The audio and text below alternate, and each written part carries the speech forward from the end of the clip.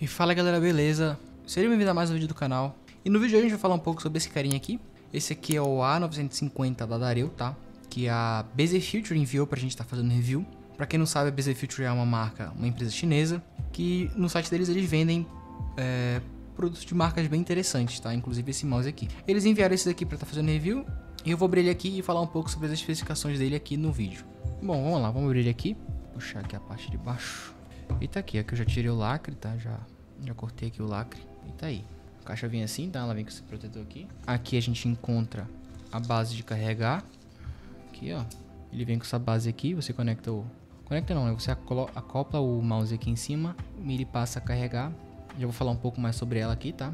Aqui já tem o um mouse e tá aqui o mouse. O modelo que eu escolhi foi esse preto aqui, tá? Porque eu achei o design dele bem bonito. Eu vou estar tá disponibilizando o link do site deles aí embaixo para você estar tá dando uma olhada aqui nesse produto. Caso você tenha interesse em comprar, o link vai estar tá lá na descrição do vídeo, beleza?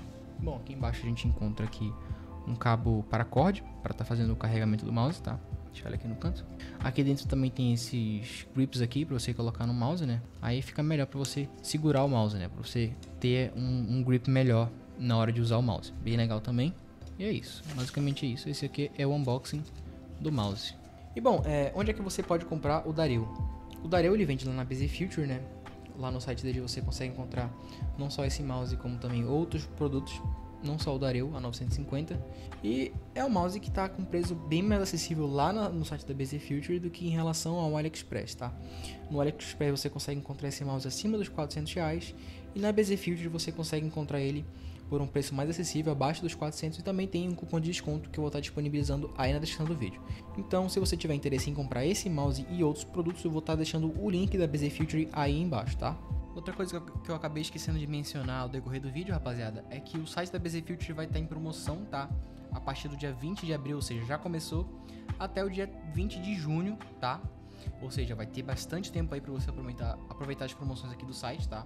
E todos esses produtos aqui que eu tô passando aqui na tela, todos esses aqui vão estar em promoção, tá? Fora o valor do produto que vai estar bem abaixo, né? Como vocês podem ver aqui, os produtos estão com um preço aqui bem mais acessível, né?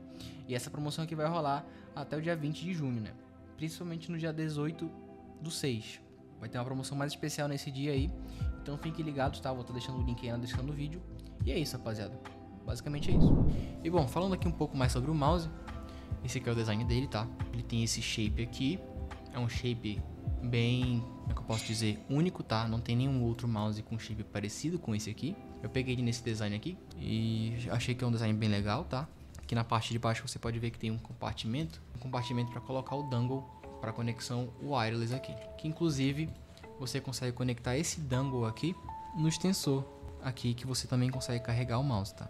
Você conecta o dongle aqui, coloca o extensor distante do mouse e você consegue utilizar o mouse através do dongle wireless aqui, tá? Bem prático também. E como vocês puderam ver, né, eu falei para vocês que isso aqui é uma base de carregamento. É bem parecido com a base de carregamento do Razer Viper Ultimate, né? Onde você só acopla o mouse aqui em cima, ó, e automaticamente ele já gruda. Fica bem bonito, inclusive, na mesa, né? Vocês podem ver aí.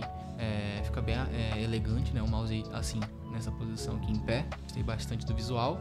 E além de ser uma base de carregamento, como eu disse, ela também é um extensor para o dongle wireless, tá? Então é só você conectar o cabo que vem aqui, né? Você conecta, você conecta o cabo USB-C que vem na caixa, conecta aqui atrás e a outra ponta você conecta lá no PC.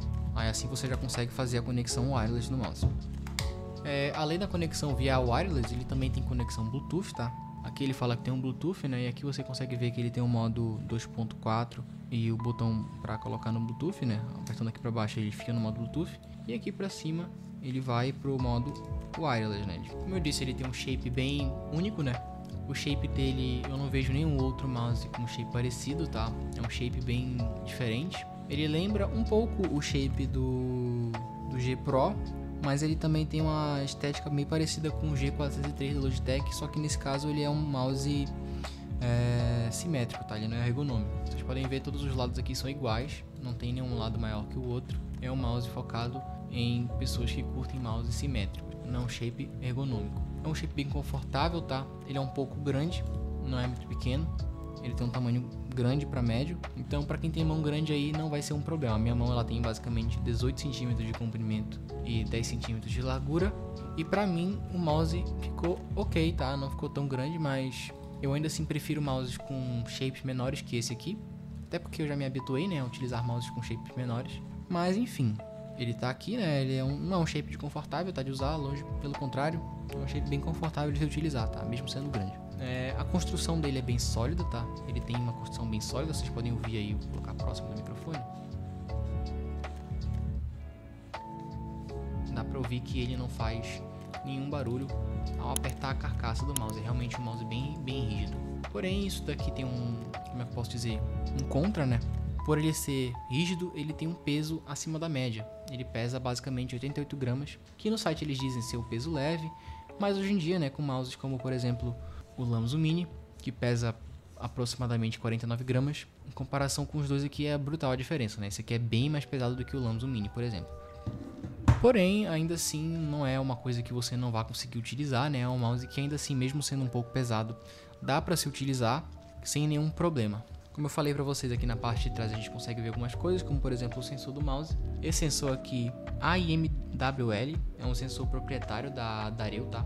É um sensor que é semelhante aos Pixart, tá? Mas ele não é muito utilizado em outros mouses justamente por ele ser proprietário da Dareu, certo? Então, é, eu testei aqui o mouse e pode ter certeza de que o sensor é um sensor de, é, decente, tá? Não tem nenhum tipo de, de defeitos, tá? Ao arrastar o mouse, puxar rápido, enfim.